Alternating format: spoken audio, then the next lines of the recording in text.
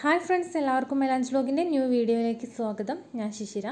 ഇന്ന് നോക്കുന്നത് U S S ക്ലാസ്സിലേക്കുള്ള പ്രാചീന കവിത്രയങ്ങൾ എന്ന് പറയുന്ന ആ ഒരു ചെറിയ പോർഷനാണ്.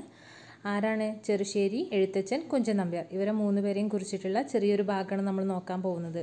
അപ്പോൾ ഒരിക്കൽ കൂടി നമ്മുടെ പുതിയൊരു വീഡിയോയിലേക്ക് എല്ലാ കൂട്ടുകാർക്കും സ്വാഗതം.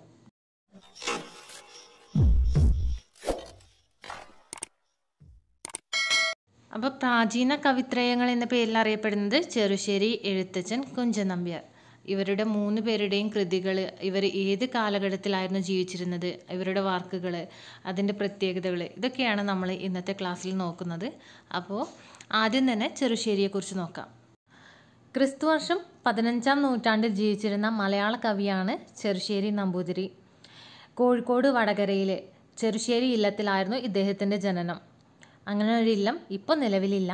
പക്ഷേ കോഴിക്കോട് വടകരയിലുള്ള ചെറുശ്ശേരി ഇല്ലത്തിലായിരുന്നു ചെറുശ്ശേരി നമ്പൂതിരി ജനിച്ചിരുന്നത്.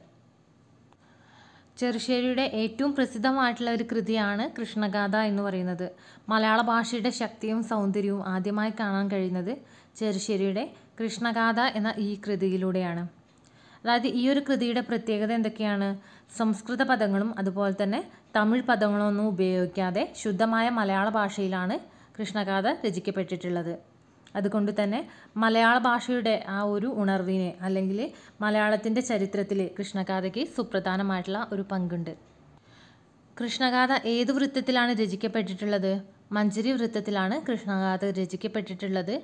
അതുപോലെ തന്നെ കൃഷ്ണഗാഥയ്ക്ക് പിന്നിലുള്ള വിനോദം എന്തായിരുന്നു? ചതുരംഗം കളിയായിരുന്നു കൃഷ്ണഗാഥയ്ക്ക് പിന്നിലുള്ള വിനോദം. അപ്പോൾ ചെറുശ്ശേരിയെക്കുറിച്ച് ഓർക്കുമ്പോൾ എന്തൊക്കെയാണ് ഓർക്കേണ്ടത്? ചെറുശ്ശേരി ക്രിസ്തുവർഷം പതിനഞ്ചാം നൂറ്റാണ്ടിൽ ജീവിച്ചിരുന്ന മലയാള കവിയാണ്. അതുപോലെ തന്നെ ഇദ്ദേഹത്തിന്റെ പ്രസിദ്ധമായ കൃതിയാണ് കൃഷ്ണഗാഥ. കൃഷ്ണഗാഥ മഞ്ചരി വൃത്തത്തിലാണ് രചിക്കപ്പെട്ടിട്ടുള്ളത്. അതുപോലെ തന്നെ കൃഷ്ണഗാഥയ്ക്ക് പിന്നിലുള്ള വിനോദം ചതുരംഗായിരുന്നു. അടുത്ത നമ്മൾ നോക്കുന്നത് എഴുത്തച്ഛൻ. എഴുത്തച്ഛന്റെ മുഴുവൻ പേരെന്താണ്? തുഞ്ചത്ത് രാമാനുജൻ എഴുത്തച്ഛൻ. ഇദ്ദേഹം ജനിച്ചിരിക്കുന്ന കാലഘട്ടം എന്ന് പറയുന്നത് ക്രിസ്തുവർഷം പതിനാറാം നൂറ്റാണ്ട്. ചില സൈറ്റുകളിൽ പതിനഞ്ചിനും പതിനാറിനും ഇടയിലാണ് ഇദ്ദേഹം ജനിച്ചത് എന്നും കാണുന്നുണ്ട്. അപ്പോൾ ഇദ്ദേഹത്തിനെ നമ്മൾ പൊതുവായിട്ട് അറിയപ്പെടുന്ന ഏത് രീതിയിലാണ്? ആധുനിക മലയാള ഭാഷയുടെ പിതാവ് അല്ലെങ്കിൽ കിളിപ്പാട്ട് പ്രസ്ഥാനത്തിന്റെ ഉപജ്ഞാതാവ് എന്ന പേരിലൊക്കെയാണ് നമ്മൾ തുഞ്ചത്ത് രാമാനുജൻ എഴുത്തച്ഛനെ അറിയപ്പെടുന്നത്. ആധുനിക മലയാള ഭാഷയുടെ പിതാവ് എന്ന് വിശേഷിപ്പിക്കപ്പെടുന്ന പ്രാചീന കവിയത്രങ്ങളിലെ ഭക്തകവി എന്ന പേരിലാണ് ഇദ്ദേഹം അറിയപ്പെടുന്നത്. ഇദ്ദേഹം നമ്മളെ പ്രാചീന കവിയത്രങ്ങളിലെ ഒരാളാണ്. അദ്ദേഹത്തെ ഭക്തകവി എന്ന പേരിലാണ് അറിയപ്പെടുന്നത്. അതുപോലെ തന്നെ ഇദ്ദേഹം ആധുനിക മലയാള ഭാഷയുടെ പിതാവ് എന്ന പേരിലും അറിയപ്പെടുന്നുണ്ട്. അതുപോലെ കിളിപ്പാട്ട് പ്രസ്ഥാനത്തിന്റെ ഉപജ്ഞാതാവ് എന്ന പേരിലും തുഞ്ചത്ത് രാമാനുജൻ എഴുത്തച്ഛൻ അറിയപ്പെടുന്നുണ്ട്. ജനിച്ചിരിക്കുന്ന കാലഘട്ടം ക്രിസ്തുവർഷം പതിനാറാം നൂറ്റാണ്ട്. എഴുത്തച്ഛന്റെ പ്രധാന കൃതികൾ ഏതൊക്കെയാണ്? അധ്യാത്മരാമായണം കിളിപ്പാട്ട് അതുപോലെ തന്നെ മഹാഭാരതം കിളിപ്പാട്ട്. അപ്പോൾ ഈ കിളിപ്പാട്ട് എന്ന് പറഞ്ഞിട്ടുണ്ടെങ്കിൽ എന്താണ്?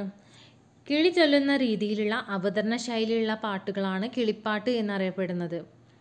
അപ്പോൾ നമ്മുടെ മഹാഭാരതവും അധ്യാത്മരാമായണവും കിളിപ്പാട്ട് രൂപത്തിലാണ് ഇദ്ദേഹം രചിക്കപ്പെട്ടിട്ടുള്ളത്.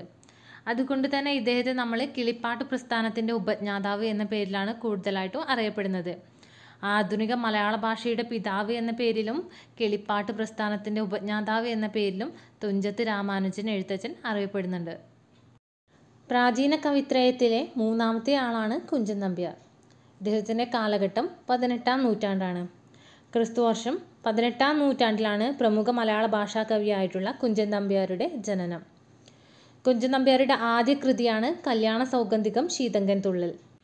തുള്ളൽ പ്രസ്ഥാനത്തിന്റെ ഉപജ്ഞാതാവ് എന്ന പേരിലാണ് കുഞ്ചൻ നമ്പ്യാർ കൂടുതലായിട്ട് അറിയപ്പെടുന്നത്. ഇദ്ദേഹത്തിന്റെ കൃതികളുടെ പ്രത്യേകത എന്തൊക്കെയാണ്? ഇദ്ദേഹത്തിന്റെ കൃതികളെല്ലാം തന്നെ ഹാസ്യരൂപത്തിലാണ് രചിക്കപ്പെട്ടിട്ടുള്ളത്. തുള്ളൽ തന്നെ എത്ര തരത്തിലുള്ള തുള്ളലുണ്ട്? പറയൻ തുള്ളൽ ശീതങ്കൻ തുള്ളൽ ഓട്ടൻ തുള്ളൽ അങ്ങനെ മൂന്ന് തരത്തിലുള്ള തുള്ളലുകളാണ് പ്രധാനമായിട്ടുള്ളത്. അപ്പോൾ നമ്മുടെ ഈ ഒരു വീഡിയോ ക്ലാസ് നിങ്ങൾക്ക് എല്ലാവർക്കും യൂസ്ഫുൾ ആയെന്ന് കരുതുന്നു. വീഡിയോ ഇഷ്ടപ്പെട്ടാൽ ലൈക്ക് ചെയ്യുക. അതുപോലെ തന്നെ മറ്റു കൂട്ടുകാർക്കൊന്ന് ഷെയർ ചെയ്ത് കൊടുക്കുക. ഇതുവരെ സബ്സ്ക്രൈബ് ചെയ്യാതെയാണ് നിങ്ങൾ ഈ ചാനൽ കാണുന്നതെങ്കിൽ ചാനൽ ഒന്ന് സബ്സ്ക്രൈബ് ചെയ്ത് സപ്പോർട്ട് ചെയ്യുക. Thank you all